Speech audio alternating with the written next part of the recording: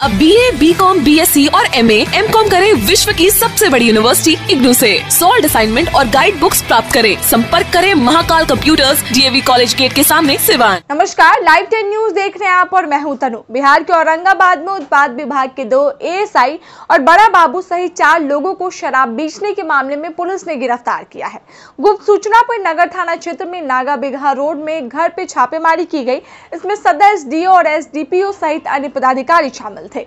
छापेमारी के दौरान 10 बोतल से ज़्यादा शराब बरामद की गई है। इसके बाद बड़ा बाबू भूपेंद्र प्रसाद चौधरी, एएसआई अजय कुमार, विनोद कुमार प्रसाद और सिपाही सर्वजीत कुमार को गिरफ़्तार कर नगर थाना लाया गया। पुलिस के अनुसार किराए के मकान में सभी पुलिसकर्मी रहते थे और यहीं पर बड़ा बाबू भूपेंद्र चौधरी भी पहुँचते थे।